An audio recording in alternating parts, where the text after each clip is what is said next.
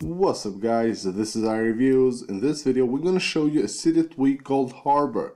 This tweak will bring the OS X dock style to your iOS 8 device. You can see my dock right here, it looks way more different and when I swipe through the icons you can see right here they bounce and I can easily go ahead and just release my finger to one of them and it will take me directly to that app. Now here we go to the settings of this tweak. We have an enable button right here.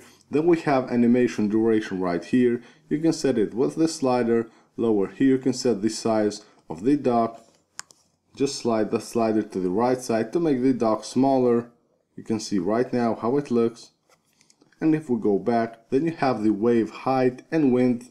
You can set them with these sliders. Lower here you have bounce options. You can choose the time for bounce and also enable bounce in running apps and also on lock screen. Lower here you can flush the bottom edge, the background of your dock. You can flush the bottom edge with the bottom of your device. You can see right here the dock background goes all the way to the bottom of your device. And if we go back, you can also choose if you want to show app name indicator and also show app state dot, which is a black dot that indicates that, the app is running in the background.